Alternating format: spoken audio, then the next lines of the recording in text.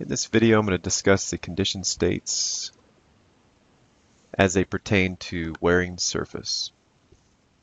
And this includes all, all wearing surfaces, the, the rigid and the flexible, the asphalt and bituminous and the cementitious. This is our basic chart. As we move from left to right, we move from the green to red, and green is good, the yellow is fair, the orange is poor, and the red is severe. And I've bolded condition state 3 because that's where I'm going to begin uh, discussing defects. And, and usually if there's distress on the wearing surface, there's a defect. Usually a good place to begin is placing that at least temporarily in state 3 and, and determining if, if it should scatter to 2 or if it should scatter to 4. So either side. So condition state three is is uh, a good a good place to begin. And this is uh, table 73, uh, the manual bridge inspection. Just to show you what, what we're going to discuss, this this this chart's available in chapter nine of the manual, uh, wearing surface, the condition state definitions, and you can see the green, yellow, orange, red at the top clarify, our deck is in this image on the left and our approach items are on the right and it's clearly delineated at that structural expansion joint so that there's a clear delineation um, between these items. And to, to further clarify, the deck wearing surface is a square footage and it's the portion above the floor carrying traffic and the approach wearing surface is the portion beyond, in this, in this example, it's beyond the approach slab. And that gap, you know, between the, the blue and the red square there is the approach slab. If there's no approach slab, then your approach wearing surface obviously begins at, at the bridge extent. And it goes, it goes a distance or a length beyond the bridge. Approach wearing surface is an each, and that was determined by committee. Approach slab is square footage and approach slab, largely we're looking for any sort of settlement or um, some sort of impact due to the, the reinforced um, reinforced slab underneath. But but certainly use this guidance, the wearing surface guidance, to help code and and, and uh, get the appropriate rating for approach slabs as well. It's a portion on top to give you an idea of, of, of some of the uh, discrepancies we see when we when we do um, wearing surface inspections, this this is uh, four different uh, uh ways, four different um, maps, defect maps for the same bridge, and this was done in in four different ways, four different um, ways to collect this data, three different inspectors, and then one non-destructive way. And so you can see some of the variance that we might get if, if we're not quantitative and objective. So I encourage inspectors to, to please uh, measure and please be objective and, and take, take the extra time, especially when there's uh, defects that could impact safety or could impact um, uh, a poor a poor rating. So so in, in the same vein, just to do some mental math, because that's a large part of what we're doing when we're coding the wearing surface portion, take a moment and uh, try to determine how much orange is is there within this within this area. If you need to, hit, hit the pause button on the video.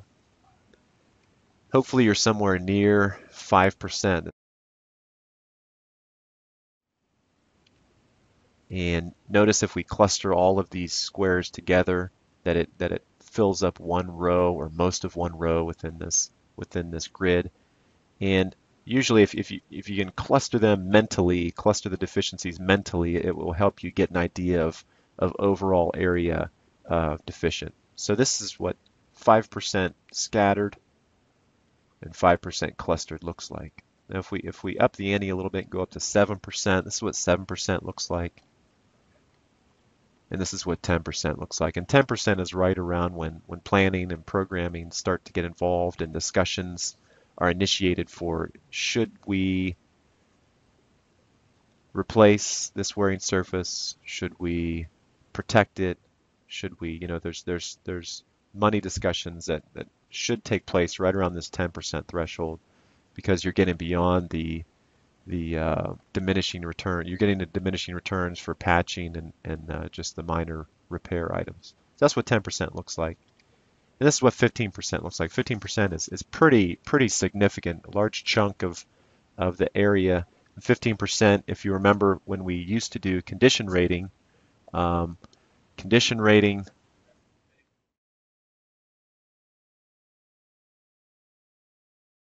the poor, the 15% is the tipping point. So this is this would be the tipping point for a poor versus a fair on the one, two, three, four for condition rating.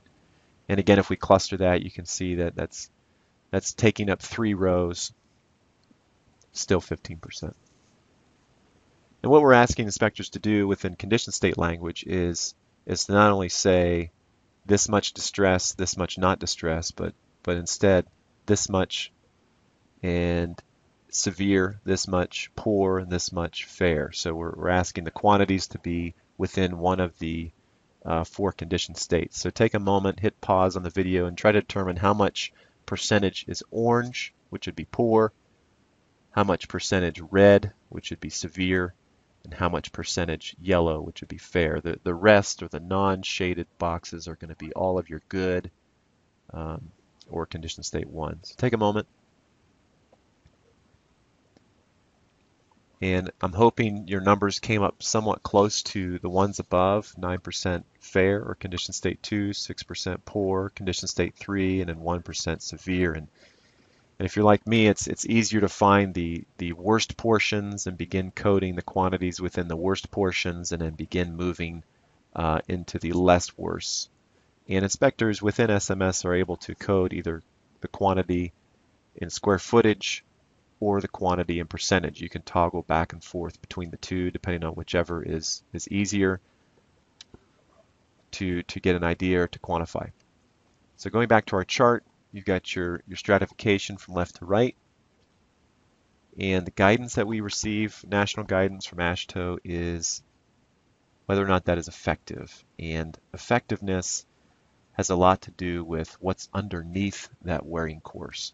And starting with condition state 3, limited effectiveness is condition state 3. So limited, um, and then we'll see how these scattered. So, but first we have to answer what, what on earth does effective mean? Effective, uh, really, wearing surface does two primary, uh, fulfills two primary roles. It preserves what's underneath and it, it provides a smooth uh, transition, smooth riding surface. So preservation and rideability are, are the two functions of, of the wearing surface. Substantially effective is going to be condition state 2, and that's where, say for example, you have a patch and you have now um, you have now a sound patch. That would be condition state 2.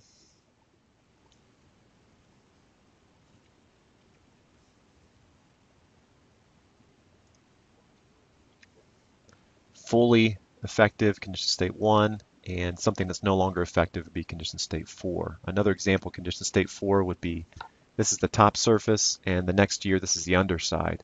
So where the you've got matching active moisture on the underside, unprotected structural elements matched with the top side, which would be something that looks like this. There's a patch upon a patch with the concrete rubble. Obviously, the concrete vertical faces are abrading against each other, producing this white white dust. So, so you've got your top side, underside. This is um, this is an unprotected floor, and the wearing surface um, was not effective. So, in order to dump something into condition state four, it has to be obviously bad on top, or um, actively unprotected on the underside as well. So matching those up would, would be very important. The quantities that here have the asphalt patch, these these quantities, this square footage that has the asphalt patch here would be condition state 4. Cracking is a, is a defect that we look for in wearing surfaces. And again, it, it goes goes back to if you've got cracking that is wide, something more than 0.05 inch. And this this these are dimensions that AASHTO has gotten from ACI.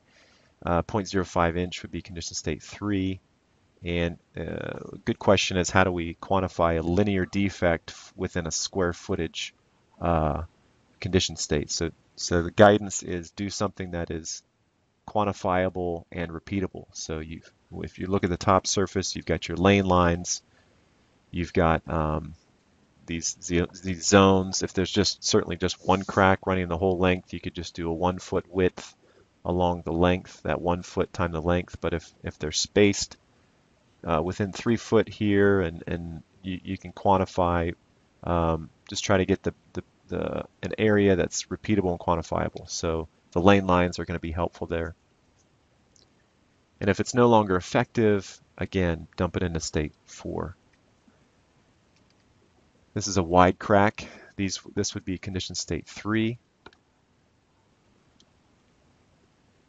And the, the, less, less uh, the smaller cracks, the tighter cracks, state 2 and state 1. Rutting, state 3, shallow rutting, state 2, shallow is something less than 1 inch. Um, delaminations or an unsound patch would be condition state 3. If that delamination, uh, if that patch is getting worse and worse, state 3 is where it should start. And something that is a sound patch or small delamination is going to be state 2. If there's some sort of traffic bouncing, now this image is probably a better example of condition state 4 where you have uh, maybe a substantial traffic bouncing or even traffic that has to swerve to miss something. Obviously that would be condition state 4, that, that rectangular area, that square footage. And a very important note about wearing surfaces in condition state 4, you'll, you'll um, note or remember that for national bridge elements or structural elements that carry live load and dead load, that carry uh, load path, if whenever we dump something into state four, it would it would then trigger an analysis. And within that 90-day period, that reviewer was responsible for uh, getting analysis done and, and deciding whether or not that quantity should be moved back to state three.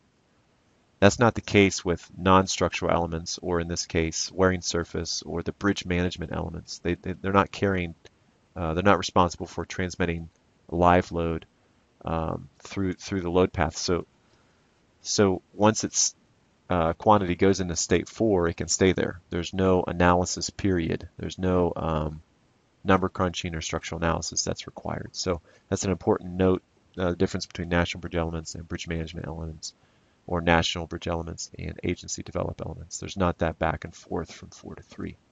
This concludes the uh, wearing surface discussion.